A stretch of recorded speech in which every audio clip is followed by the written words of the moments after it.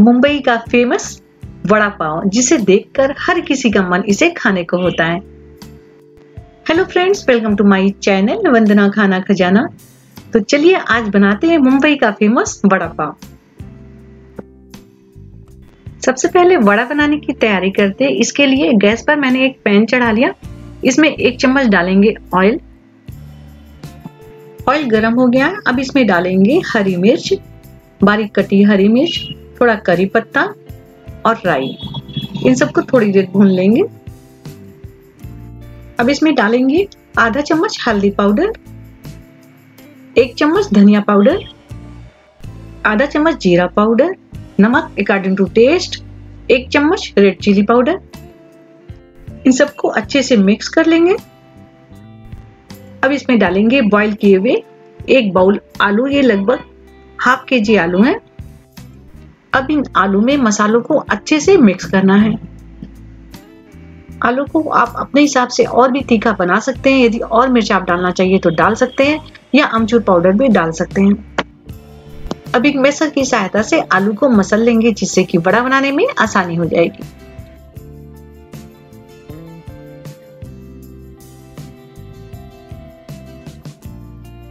अब इसे और भी चटपटा बनाने के लिए इसमें एक चम्मच डाल देंगे चाट मसाला और इसे भी अच्छे से मिक्स कर देंगे। अब एक बड़ी सी प्लेट में आलू को निकाल कर रख देंगे ठंडा होने के लिए। अब बड़े के लिए बैटर तैयार करेंगे। इसके लिए लेंगे एक कप बेसन, आधा चम्मच नमक, एक चम्मच मिर्च पाउडर वन फोर चम्मच हल्दी। और थोड़ा थोड़ा पानी डाल के बैटर हमें तैयार करना है। इसमें कोई लम्ब ना पड़े, ये ध्यान रखना है। इसलिए थोड़ा थोड़ा पानी डालेंगे। अब एक थिक बैटर इसका तैयार कर लेंगे।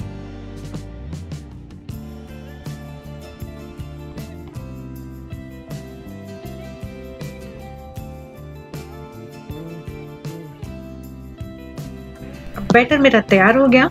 ऐसा ही होना चाहिए, यदि आप बहुत ज़्यादा पतला बैटर बना देंगे तो बड़ा अच्छे से इसमें कोट नहीं हो पाएगा। अब तैयार कर लेते हैं बड़ा पाव के साथ खाने वाली स्पेशल चटनी। इसके लिए एक पैन में थोड़ा सा तेल डालेंगे और इसमें लहसुन की 10 से 12 लहसुन की कलियाँ डाल देंगे। दो रेड चिली डालेंगे। वन फोर्थ कप मूंगफली डालेंगे। इसे थोड़ी देर तक भून लेंगे। अब इसमें डालेंगे वन फोर्थ कप व्हाइट तिल। इसे भी थोड़ी देर तक भून लेंगे। जब तक ये तिल चटकने लगेगा, तब तक इसे भून लेंगे। अब इसमें डालेंगे वन फोर्थ चम्मच हींग। नारियल का बुरादा, चार चम्मच, एक चम्मच धनिया पाउडर, दो चम्मच रेड कश्मीरी मिर्च पाउडर, थोड़ा नमक, लगभग हाफ़ चम्मच। और इन सबको मिला के अच्छे से हमें भूनना है, लगभग थर्टी सेकेंड हम इसे भून लेंगे। अब ये अच्छे से भून गया है तो इसे ठंडा करके मिक्सी में डाल के इसे अच्छे से पीस लेना है। अब लेंगे मिक्सी का छोटा वाला जार। इसमें चटनी को हम पीस लेंगे। इस समय ये बिल्कुल ठंडा हो गया है तो ठंडा होने पर ही आप इसे पीसिए। अब चटनी भी मेरी तैयार हो गई है तो इसे एक प्लेट में निकाल कर साइड में रख देंगे। अब चलते हैं नेक्स्ट प्रोसेस की तरफ़। अब आलू ठंडे हो गए हैं इनको हाथों से एक बार फिर से मसल लेंगे और इनके बड़े बना लेंगे। जि, जिस साइज़ के आपको बड़े बनाने हो उस साइज़ के बड़े बना सकते हैं। तो सारे बड़े इकट्ठा करके बनाकर रख लेंगे उसके बाद इन्हें फ्राई करेंगे।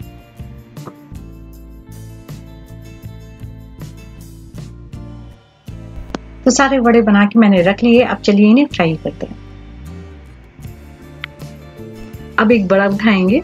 उसको बेसन का घोल जो मैंने बनाया है, उसमें डिप कर देंगे।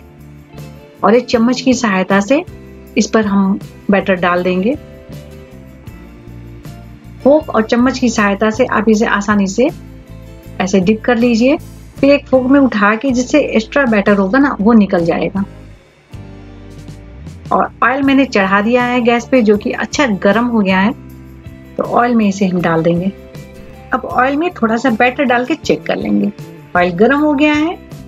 अब इसमें धीरे से बड़े को डाल देना है। डालते समय बहुत ही सावधानी से डालना है, जिससे आपके ऊपर इसके छींटे ना पड़े। तो सारे बड़े को एक करके एक बार में जितने अच्छे से फ्राई हो सके, उतने बड़े इसमें डाल देने हैं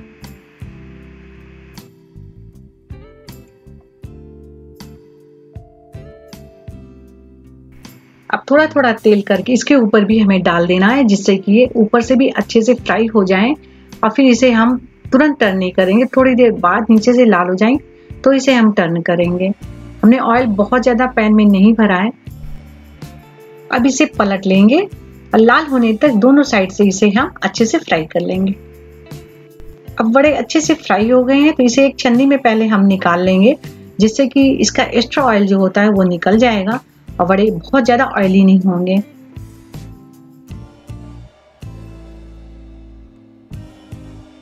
अब एक लेंगे तड़का पैन, इसमें थोड़ा सा ऑयल डाल देंगे। ऑयल को थोड़ा गर्म हो जाने देंगे, फिर पाँच छह मिर्ची को बीच में स्लिट करके इसमें थोड़ा फ्राई कर लेंगे।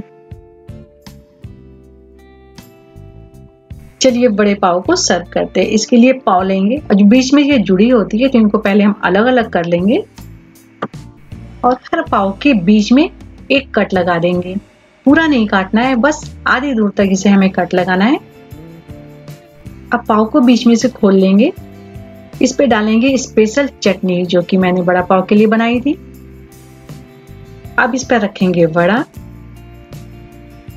उसके ऊपर रखेंगे एक हरी मिर्ची। हरी मिर्ची जो मैंने फ्राई की थी, उस पर थोड़ा सा नमक डाल लेंगे। इसको आपस में मिला लेंगे और फिर इस पर हरी मिर्ची रख देंगे, इसके ऊपर फिर से चटनी डाल देंगे और इसे बंद कर देंगे, ऊपर से थोड़ा पुश कर देंगे। ऐसे ही सारे बड़े पाव को असेंबल कर लेंगे। अब आप इस पर ग्रीन चटनी भी लगा सकते हैं। तो बहुत लोग इसमें ग्रीन चटनी भी लगाते हैं पाव में। तो जितना आपको तीखा पसंद हो, उतना तीखा आप इसे बना सकते हैं। ग्रीन चटनी लगा लीजिए या मिर्चे वाली जो रेड चटनी होती है वो भी आप इसमें लगा सकते हैं। पर मुझे तो ये ऐसे ही बहुत पसंद है तो मैं इसे ऐसे ही बनाती हूँ। अब आपने देखा ना कि बड़ा पाव बनाना कितना आसान है, जब भी आपका दिल चाहे घर पे इसे आसानी से बना सकते हैं। अब साइड में थोड़ा एक्स्ट्रा चटनी भी सर्व कर देंगे और हरी मिर्ची भी, क्योंकि बहुत लोग एक्स्ट्रा चटनी और हरी मिर्ची खाना पसंद करते हैं। यदि वीडियो पसंद आया हो तो प्लीज़ इसे लाइक करिए, ज़्यादा से ज़्यादा शेयर करिए। और यदि मेरे चैनल को आप पहली बार विज़िट कर रहे हो या अभी तक आपने मेरे चैनल को सब्सक्राइब नहीं किया है तो मुझे सपोर्ट करने के लिए मेरे चैनल को सब्सक्राइब करना बिल्कुल मत भूलिए। साइड में जो बेल आइकन होता है, उसे भी प्रेस कर दीजिए, जिससे मेरी आने वाली नई रेसिपी का नोटिफिकेशन आपको तुरंत मिल जाएगा। मिलते हैं अगली वीडियो में एक नई रेसिपी के साथ। तब तक के लिए टेक केयर एंड बाय